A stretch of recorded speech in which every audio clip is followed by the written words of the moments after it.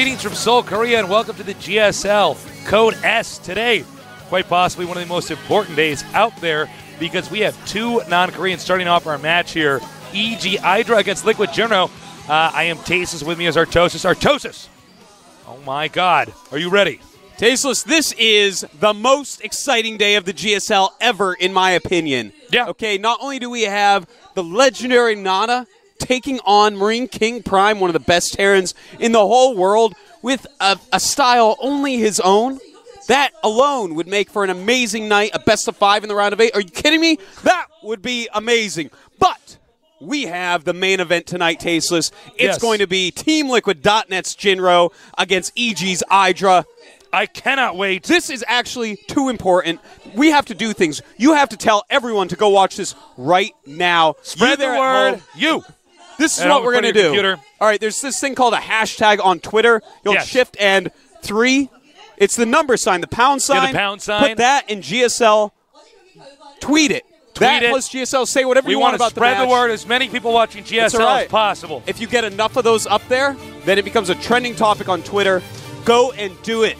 And if Do you it. don't have a Twitter account, first of all, get a life. Second of all, sign up and do that for us. Okay, for the Code A round of eight match results, we had OGS top a win 2 0. After that, SC Foyu 2 0, and of course, two more 2 0s. Zenex Beyond and Fox Lin, pretty short day. Moon losing to Lin. That was our Warcraft three player that moved on. Well, the first day of the Code S round of eight, we had I'm T taking out Choya Foyu 3 to 0, and I'm MVP taking out TSL Soki Su 3 to 0 as well. Those are two of our players in the top four. We will be getting the next two today out of these two matches. Yeah. EG Idra against Liquid Jinro and Marine King Prime. We against OGS Nada. A super exciting day. Let's make sure everyone knows about it. Post on the forums. Make those little number signs in GSL on Twitter. Do Hashtag everything. it. Tell each other through Facebook. Get those Reddit threads up to the top. That's right. Yeah, Neo Gaff community, you guys make your threads. I'm telling you, man, every single site out there. We want to spread the word as Yeah. much as humanly possible. You know, SC Legacy, the YouTubes, Huskies people, HD's people. You know, everybody needs to get together. Tell everyone to watch this. This is going to be so awesome. I have no idea how this I is think going to both of our out. matches today are actually basically 50 50. Could go either way. Uh, Idra and Jinro. Jinro, of course, representing TeamLiquid.net. Idra, uh, a good friend of ours and a teammate of mine on EG Evil Geniuses. And of course, the Terran versus Terran. We basically have um, new school against old school. Yeah. We got Marine King Prime against Nada. Uh, Marine King Prime, known as Boxer in season two, losing to NesTea. No shame there. No, of course not. And not. NesTea, excuse me, Nada, um, just a legend, the most consistent Terran player of all time in StarCraft 1, here uh, duking it out. It is an amazing group of players here today, Yeah. Tasteless. Seriously, if people are going to watch a day of GSL, please watch this day because this is just. We have two non Korean players in the top eight facing Yeah. each other.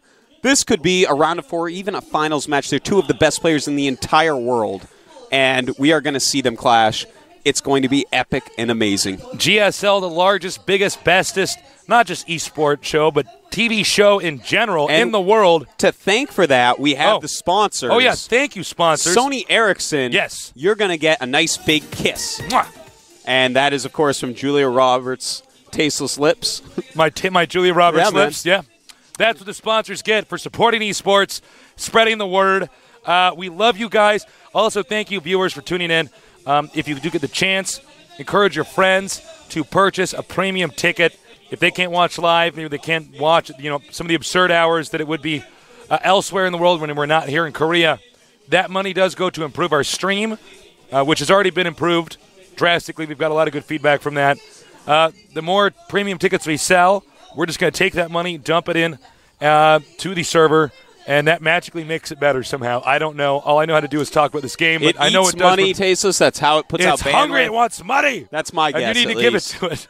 but uh, On to our Yeah. first match. seriously, this Seriously, is, dude, this is what so a cool. match! Yeah, Wow. Idra, um, known as a macro Zerg. He was a macro Terran in StarCraft 1. Probably the best non Korean player Let's watch. at the end of this. Let's check out this video, though, before we say any more. 맹꽁을 보여주고. 해외 선수 올라가나요? 맹공 맹공 맹공 그것도 파고들었어요 파고들었어요 들어왔고요. 파고들었어요 베일이 벗겨집니다. 시작하죠. 하나 둘 잡혔고 도로 둘 잡혔고. 자 마지막 도로 한개. 마지막 도로 이것도 잡히네요 결과적으로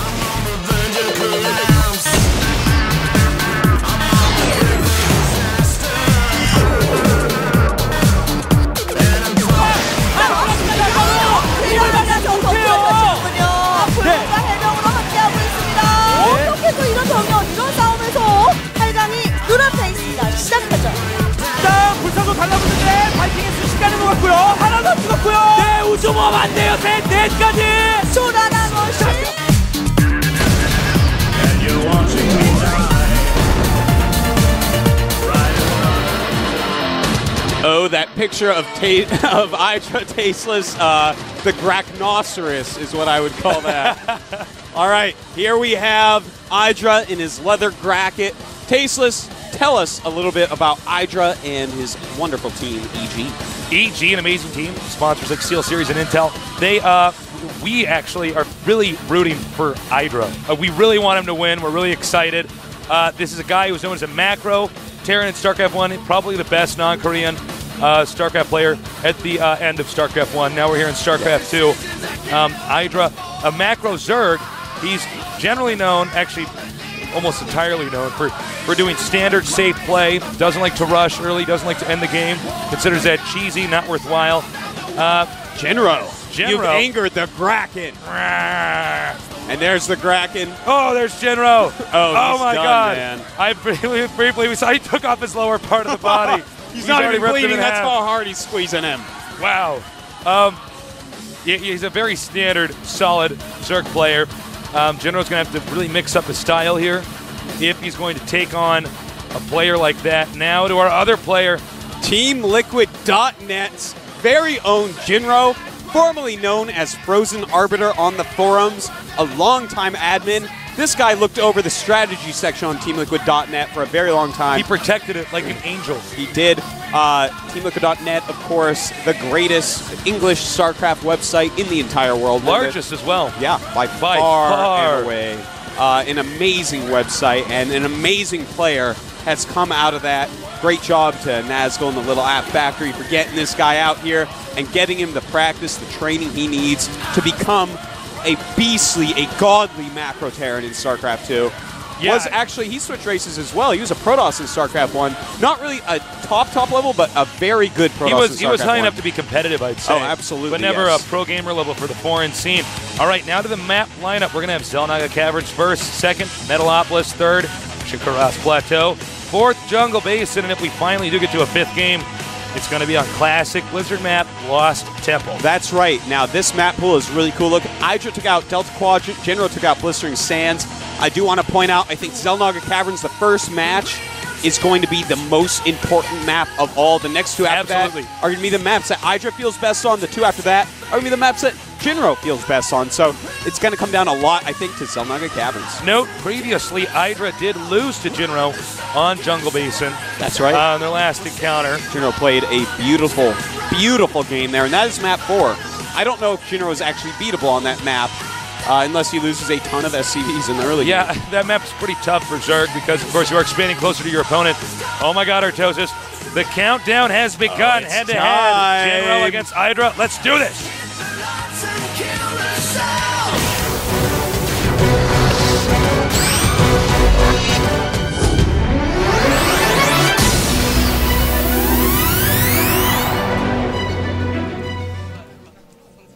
It's on in the red at the bottom left. They call him Idra. He's nicknamed Grack by Slayer's boxer.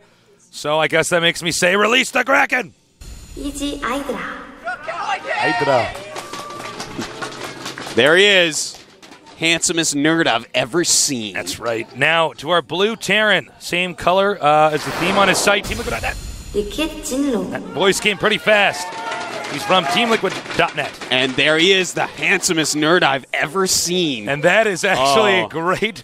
that is actually perfect. That's actually perfect. because. Jinro is a perfect human being. He's like the nicest guy ever. And then, of course, Greg uh, Idra, E.G. Idra, is quite known as a villain sometimes. And we're going to go straight into the options menu right now. Okay. Yeah, got to check at- out those know what options, see what's going on in there. Show you guys the options. Do you guys do you guys want ultra graphics or like low graphics, dude? we want ultra graphics so we can see every bloody moment of this game. Note, um, you could see Jinro's position there with the depot, space efficient, putting it in front of the in front of the, in front of the refinery so you can sink it. That's right. That's right. It's a good way to, you know, But intimidate your can new that friends. can that depot sink to the lows that Idra is going to pull with Banelings this game, Tasteless? Could be. We will see. Now, Idra, um, of course, we were speaking to him beforehand, um, before we went live here, and um, he was basically saying if he wins the first game, the set should be easy. Yeah, it's the first game is the crucial game, Tasteless. Uh, notice Idra's going to go for a hatchery first build. Jinro, uh, on the other hand, Tasteless. Oh, look at that beautiful studio we're in. Jinro, on the other hand, no second barracks. So there's a few choices you can go on this map, obviously, as openers. Uh, and if you go hatchery first and they go two barracks, it can be quite hard to hold. But Jinro has not done that, so Idra's build is going to be pretty safe and solid. We're just going to have to see what Jinro wants to take up to here. Here's another shot of our studio. Got a good look at that there. Got to show you guys that studio. It's a beautiful studio. We have a very sexy studio. By the way, if you guys ever come to Korea, you are welcome to come to the GomTV.net studios. Um, whether it be the finals or, you know, Final Four, start of the tournament, whenever. Uh, entry is free. So feel free to check us out. Absolutely. We see Idra following up with a spawning pool and a gas, very standard. That SCV scout is base. Now, Jinro getting a reasonably quick factory, not the fastest though, so I think we may see Jinro go into perhaps his uh, single Banshee. He loves to get, you know, a single Banshee and expand. It kind of gives him some map control in the early parts of the game before any Mutalisks are out. Yeah. Yeah, that's absolutely right. Um, we could have that now. Idra, uh, actually, both Idra and Jinro really not known for rushing early, but Jinro I think has a more diverse style. Yeah, Jinro Idra- has a lot more build orders that he normally pulls out, but Idra's showing us something a little bit new here. He has planned and planned and planned for this match, and as we see on the production tab, a Roach Warren is being built. So that is very contrary to his normal style of Speedlings. Yeah, he's mixing it up here. You know, when you get two non-Korean players out here, they tend to know each other's style pretty well because obviously there's not going to be that many people you're communicating with uh, about StarCraft 2 in person. Very, very true, but these two are such rivals at this point. Now, we see some Marines coming down. A little bit of pressure. Idra doesn't have a ton of units, but he does have some Roaches building, and of course, Roaches, pretty ownage against Marines, tasteless. I don't think that these uh, Marines are going to do too much. He may try to assassinate the Queen, meanwhile push this Hellion up the ramp. Uh, this is a very good build against what Idra normally does. But he does have those roaches, so Jinro going to run away immediately. And lucky now that him. the Roaches are off that creep, it's going to be a little bit harder to catch up to the Marines. That's right. By a little bit harder, we mean pretty much impossible. Those Marines are going to get out of there Yeah. relatively easily. Now, that's going to throw Jinro off a little bit. You know, it's no one's really used to Idra doing different builds. But we see Jinro, he is going to tech up, it looks like, to a Banshee, and also has that uh, command center being made. So, looks like he's going to do a very safe, normal build. And the Roaches, they may be able to do a little bit of damage here, Tasteless. There's not a lot up here. Whoa! Almost And- did not land that in time. It does land. And, uh, well, the Roaches have less range than the Marines, but not by a whole lot. This uh, moment we're seeing here, oh my god, that was actually pretty smart. Maybe going for the tech lab there. The moment we're seeing here is similar to a Dragoon rush in StarCraft 1. Yeah. Uh, with the Dragoons basically trying to pick off the Marines um, and maybe the tank if they get a shot off.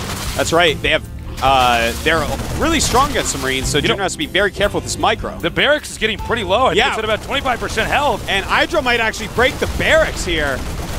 Some SCVs are coming down. Idra picking those off. These roaches doing some good harassment damage, and it looks like this barracks could in fact go down. Ah! Jinro's falling apart. He already sent the mule out. Banshee's now out. Probably might as well just go ahead and keep attacking that barracks. Oh no, Smart Movie's going to split them up. yeah, That's going to force the Banshee. one of them. Yeah, that's going to force the Banshee to waste time trying to find them. Now, Idra has lost, I mean, uh, General has lost a few SCVs, lost a mule there, lost some repair time. So that was certainly very annoying for him. And now we do have, uh, it looks like he's going to float out that starport to be part of a wall in. And he's going to go ahead and take his expansion. Good usage of that starport It'd be a right good now. moment right now for um, Idra to go ahead and plant that roach underneath the command center so it can't land. harass as much as he can. Notice he does kill an SCV there. Very annoying for Jinro. Trying to take out some Marines as well, but the Banshee will clean that up. Now, Spire on the way. Ooh, I, that is actually quite interesting. Idra going to transition his Spire. He's gotten some good damage off. Has decided that it is time, Tasteless, to go for a Spire. He loves those Mutalisks. But right now, the big story is the drone count. Idra has 43 drones against just 31 SCVs, so his economy is doing just beautifully right now. Yeah, he's playing really well. Um, this is interesting. I think Jinro is in a tough position. Uh, no, what Jinro's going to have to do when you're behind like this, take the gold base, hold the gold base for as long as you can, and uh, try to pull through the win from there. Idra's going to want to stall him from destroying those rocks. Idra may take the uh, mineral only, or uh, rather the blue um, base behind the gold base, um, and try to do a macro game. We'll see. Now, this Banshee doing a great job. It's controlling some creep tumors. It's already killed a couple of them. Just kind of keeping Idra stuck in his base where the queens are. But as Mutalisks uh, will be made pretty shortly here, uh, that Banshee shouldn't do too, too much. Banshee almost killed off there. Yep. Seven mutas and plus one being started. In the meantime, Jinro getting stim and starting his Marines up. Getting that engineering bay, it's almost done, so he's going to want to get some turrets up pretty quick. And he still does not know about that uh, that Spire Tasteless. Might catch him a little bit off guard. Oh! Took out the Banshee. That Banshee can't be remade. As you can see, the starport not connected to the tech lab, so that's the only Banshee we may see for this entire game. Yeah, I think that's quite likely, especially now that the Mutalisks are out tasteless. Banshee's not too good against those. And the Muta's going to fly up the map now. We're going to have to see what damage Idra can do. That's going to really factor in to how this game goes. Talk about good turret timing. yeah, that's The turret literally finishes within one second of the Mutas killing it off. Now, what he wants to do is force Idra to stim, take out SCVs and stray Marines. Whatever he can do. Oh, like this. There you go. Perfect. Takes out. Uh, whoa. takes out one medevac. Uh, Looks like he wants to take another. It has a lot of SCVs in it.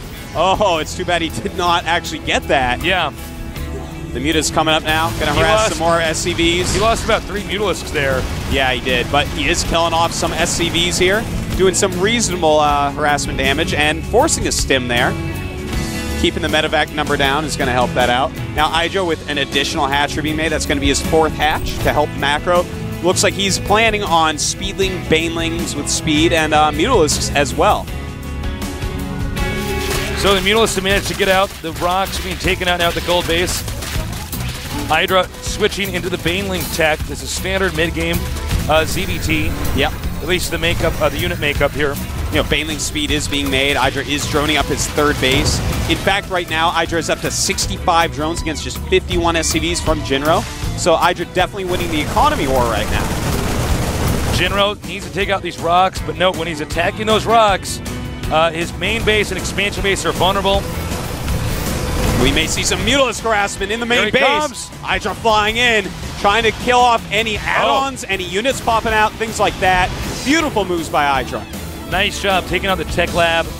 With the tech lab gone, less siege tanks. Siege tanks basically the counter to Banelings. The rocks are gone. Idra getting now into an offensive position. I don't know if Jinro should be out on the map yet. I feel like Idra's presence is a little bit too strong. You know, it is a scary presence, but at the same time, Jinro being very proactive at taking his third base. I'm certain he'll lay down a planetary, and if that planetary has gets to. up, he's going to have a beautiful foothold on the map. I almost feel like any Terran who doesn't get a planetary fortress at that gold base would be insane. Yes. Uh, the strategic position that gives you. Hold that thought, though. Here come the Mutas and Zerglings and Wow. Idra doing a great job taking out those sea tanks immediately. The Mutas, and then the Marines have to run from the Banelings a bit, but Idra may want to be careful here. Does have that additional Bane, and does end up having to run away. But he has taken out a reasonable amount of Marines as well as a few siege tanks, and that's going to help him out in the future with his Banelings. Note that he did take out the tech lab earlier on, um, so that's going to be less tanks uh, on the map for a while. Yeah. I believe he may only have one additional tank out uh, right now. Yeah, right now Yeah, he right actually now has no No, tanks. excuse me, that's a just Thor. a Thor. So, uh, Idra doing a pretty good job thus far. Right now, they're very close on drone versus SCV, 66 to 66. That's so close. That's about it's as the close same as number. Stim, he's running for it. Idra punishing Jinro for coming out a little bit too far. Magic boxing the Thor. Thor being taken out. Uh, nice splits by Jinro, but Speedling's coming as well. And Idra really wants to try to deny this third base as long as possible. So many Mutalisks flying in here, taking out a lot of Marines. And Idra does have to turn around as Jinro falls back. He's going to take out this turret. That's going to make this uh, base basically naked. He, the uh, Marines force the Mutalisks and the Zerglings to retreat. He needs to get those turrets up very quickly. That's right, Tasteless. Uh, a naked base. It is wrong. He's It's clothing not- it up with some it's not turrets the and a good kind of naked. You know, it's not that oh that's hot and sexy naked. It's like no, I just don't have turrets. there. I'm going to die to Mutalisks naked. That's like, yeah, the opening worst a jar kind. of pickles naked, tasteless. It's not a good thing. All right, we do have Idra taking his gold base, still staying on his lair tech. He does have an infestation pit, so oh, just now starting that hive on the production tab as we see. Mutas getting ready for some more harassment as well. And there's a lot of Thors. You may just want to target them down. Oh, that's going to cost Jinro a lot of minerals, losing Yeah. two Thors out of five. I mean, mules. Mules are Same thing. They're both unbelievably good. so. Uh, we have more Banelings on the way. Very nice barracks positioning here. Similar to what we saw from. Um, oh, now I'm forgetting his ID. What was his ID that we saw yesterday in yesterday's games? Code A. I don't know, just some guy. some guy. We saw some positioning like this in, pre- in previous games, um, utilizing the Terran's ability to land uh, buildings and lift off buildings. Now, Idra in the main with the Mutalisks. Very good timing. He does have the plus one attack. Jinro is stretched out a little bit beyond his means, and Idra taking down the reactors. That is huge. They take a very long time to make. Very good move by Idra to at least take down. Well, he only got one of them because SCV's going to repair it, but still, very nice move there by Idra. Idra may have forced his opponent to relocate. Now, there's one technique you can use as Zerg, um, and that's where you do a Baneling mass push into the uh, planetary fortress, try to just blow it up, Yeah. um, which can catch people off guard. And you can see Idra, I mean, uh, Jinro at its expansion has already uh, basically walled off that a little bit with the depots, made it a little bit more difficult to do that. That is quite true, Tasteless. Now, Idra moving up. He has a ton of units. He is maxed out at 200 supply. Jinro at 161. And Idra's just going to go for it. Just running in so many Banelings. If he can hit the Marines with those, the Mutalisks can clean up the rest. And Idra taking his lead into what may be a very quick victory here against Jinro. Oh my god, his Mutalisks absolutely destroying everything Jinro has at the expansion. And Jinro's going to have a hard time. More Banelings rolling up the ramp. And if he can float over these barracks, Tasteless, it's hard to imagine anything popping out that can actually take out this huge Mutalisk swarm. He's taking out the factory. That means no more Thors, no more siege tanks. Baneling's going to be too strong. GG. There he is. Idra takes GG. down game one. Damn. Absolutely stellar play, Tasteless. EG Idra dominating in that game. Actually, a fairly one sided game from start to finish. When we saw the uh, small push denied, then we saw the Roaches attacking the barracks. You know, SCVs killed. I think that made all the difference when you think Yeah. about what actually happened in that game Oh, let sure. Idra get into that position. The thing is, if you let Idra get ahead of you for even a minute, he's going to have so many drones that he's going to outmacro you all game long. Now, what happened was he made those roaches. That's not something Jinro is used to from Idra. In fact, he had the four Marine, one Hellion push. Now, that's a very strong push against any Zergling based openings. But Idra, in fact, went for roaches, so that push did zero. He immediately counterattacked with the roaches, killed off some SCVs, got a mule off, uh, almost killed the barracks, and then Jinro was just behind from there, and just like, okay, I'm pretty safe. I see a Banshee, third queen, tech up, go mutas. Everything just worked out perfectly for him from there. Yeah, it was pretty. Everything he said is right. Uh, basically, I, I look. You and me have both experienced playing Idra uh, in, in a competitive environment. We we were actually both his teammates in StarCraft One. Uh, when Idra gets ahead of you, you actually can't catch up No, because it- his macros just That's the thing. People oftentimes say, you know, that is his great weakness is that he always macros. But when all you do is macro, you become You become pretty good, good, at, at it, uh, Uh, yeah. to say the very least. So the countdown's begun. Let's get ready for game number two and see if Jinro can come back or if Idra's going to close this out. With Tasis and Artosis, this is the GSL.